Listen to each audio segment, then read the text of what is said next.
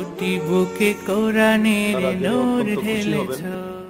যে গত তিন তারিখ বৃহস্পতিবার মৌলানা ডক্টর মুশতাক আহমদ সাহেব মৌলানা মুফতি মোহাম্মদ আলী সাহেব এবং রেলওয়ে স্টেশন মাদ্রাসার প্রিন্সিপাল মৌলানা মুজিবুর রহমান সাহেব এবং আমি আহিয়া মাহমুদ আমরা চারজন ফাকুল মাদারিসি দিনিয়ার পক্ষ থেকে কওমি মাদ্রাসাগুলো খুলে দেওয়ার জন্য মাননীয় স্বরাষ্ট্রমন্ত্রীর মাধ্যমে মাননীয় প্রধানমন্ত্রী বরাবর একটা দরখাস্ত আমরা পেশ করেছিলাম গত বৃহস্পতিবার দিবাগত রাত্রে।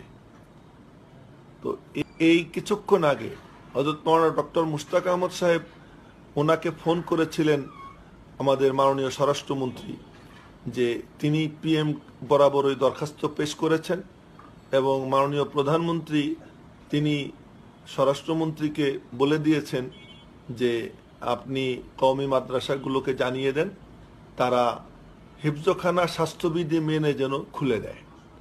তো হিফজখানা খোলার অনুমতি মাননীয় প্রধানমন্ত্রী পক্ষ থেকে পাওয়া গেছে। এখন হেফজখানা খোলার ব্যাপারে আর কোনো সমস্যা নেই। সমস্ত কওমি মাদ্রাসা তারা তাদের হেফজখানা খুলে দিতে পারে, হেফজখানায় পড়াশোনা চালু করতে পারে। তো অন্তত খোলার ব্যাপারে কিছুটা অগ্রগতি তো আমরা অর্জন করতে পারলাম। একেবারেই যেখানে বন্ধ ছিল, সেখানে হিপসখানা খুলবে, কোরআনে করিমের তেলাওত চালু হবে। ইনশাআল্লাহ বাকিটাও অচিরেই হয়ে যাবে বলে আশা করি। আপনারা সকলে দোয়া করতে থাকুন। আমরা চেষ্টা অব্যাহত রাখব যেন পুরোপুরি খোলার ব্যবস্থা হয়ে যায়। সেই চেষ্টা আমরা করতেছি। আল্লাহ তালা যেন কামিয়াব করেন। সকলের দোয়া চাই।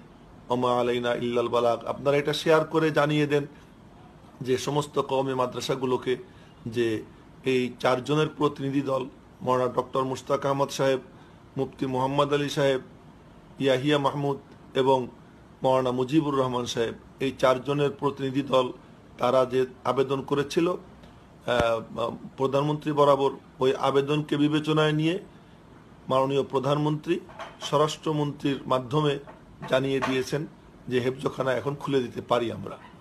আপনারা সকলে সুস্থ থাকুন, ভালো থাকুন। আল্লাহ তালা মাদ্রাসাগুলো আবার সেই পুরোদমে শিক্ষা কার্যক্রম চালুর জন্য ব্যবস্থা করে দেন।